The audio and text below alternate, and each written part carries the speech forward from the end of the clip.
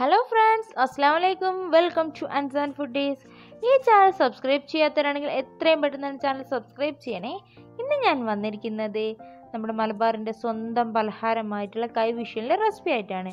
ആദ്യം തന്നെ ഇതിന് വേണ്ട ഇൻഗ്രീഡിയൻസ് എന്തൊക്കെ നമുക്ക് നോക്കാം.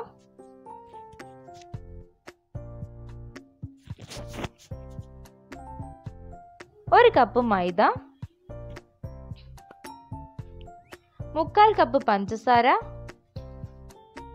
നാല് മുട്ട കുറച്ച് ബട്ടർ ബട്ടറിന് പകരം നെയ്യായാലും മതി.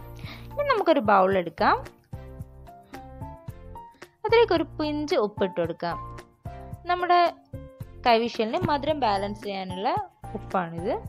ഇതിലേക്ക് നമ്മൾ എടുത്ത് വെച്ചിരിക്കുന്ന നാല് മുട്ടയും പൊട്ടിച്ച് വെച്ചൊന്ന് ഒരു സ്പൂൺ കൊണ്ട് നമുക്ക് ബീറ്റ് ചെയ്തെടുക്കാം.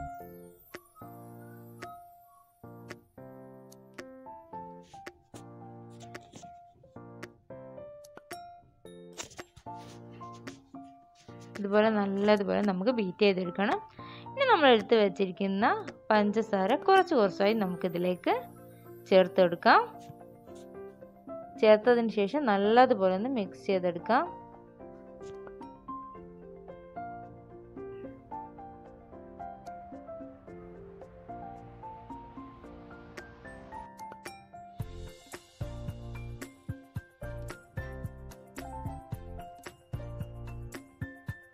ഇതിലേക്ക് ഒരു അര ടീസ്പൂൺ ഏലക്കാപ്പൊടി കൂടെ ചേർത്ത് നമുക്ക് മിക്സ് ചെയ്യാം.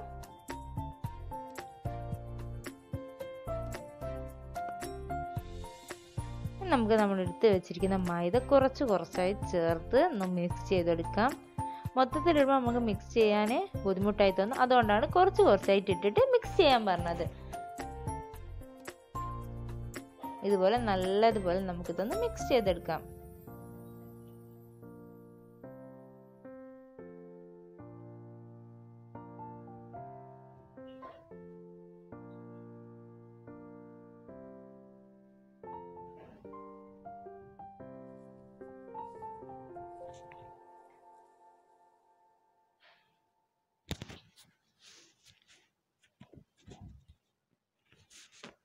നല്ലതുപോലെ മിക്സ് ആയിട്ടുണ്ട്. ഇനി നമുക്ക് നമ്മൾ എടുത്ത് വെച്ചിരിക്കുന്ന ബട്ടർ ചേർത്ത് കൊടുക്കാം.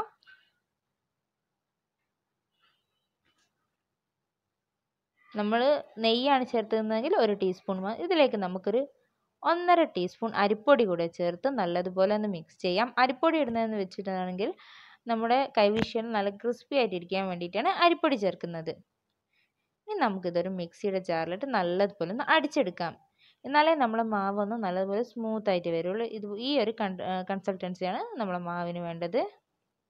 ഇനി നമുക്കൊരു പാൻ ചൂടാക്കാം. അതിലേക്ക് നമുക്ക് ഫ്രൈ ചെയ്തെടുക്കാനുള്ള ഓയിൽ വെച്ച് നമ്മളിത് ചിരട്ടയുടെ കണ്ണു പൊട്ടിച്ചിട്ട് നമുക്കിത് ചെയ്തെടുക്കാം. ഞാനിപ്പോൾ ഒരു ബോട്ടിലാണ് ഇത് ചെയ്യുന്നത്. ഇതുപോലത്തെ ഒരു ബോട്ടിലാണ് ചെയ്യുന്നത്. എണ്ണ അത് ചൂടായിട്ടുണ്ട്. നമുക്കിനി കൈവിഷൽ ഉണ്ടാക്കാം. ഇതുപോലെ നമ്മളിങ്ങനെ ചുറ്റിച്ചു കൊടുത്തിട്ടാണ് ചെയ്യേണ്ടത്.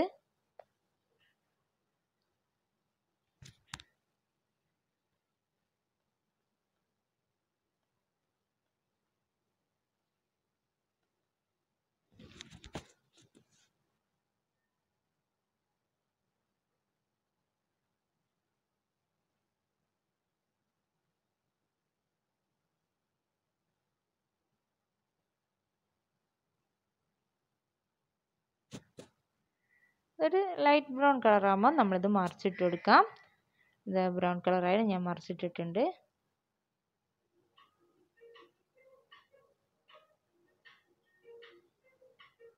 നമുക്കിത് വൈകുന്നേരങ്ങളിലൊക്കെ ചായയുടെ കൂടെയൊക്കെ കഴിക്കാൻ പറ്റിയ നല്ലൊരു പലഹാരമാണ്.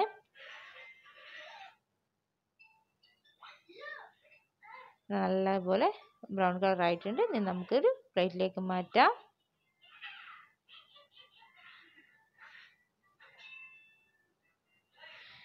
ഇതുപോലെ നമുക്ക് ബാക്കിയുള്ള മാവ് ഇതുപോലെ പൊരിച്ചെടുക്കാം.